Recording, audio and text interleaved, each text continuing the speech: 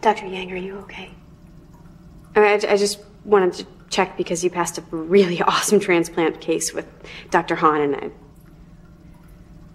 Um, is this about the thing with with Dr. Burke? I, I, I know that you two were together and.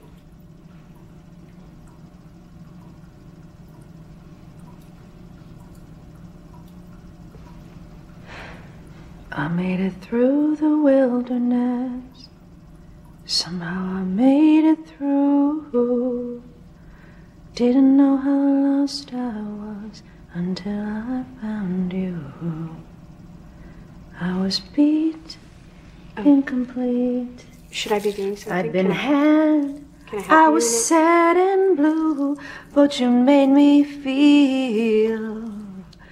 Yeah, you made me feel shiny and new, like a virgin. Hey!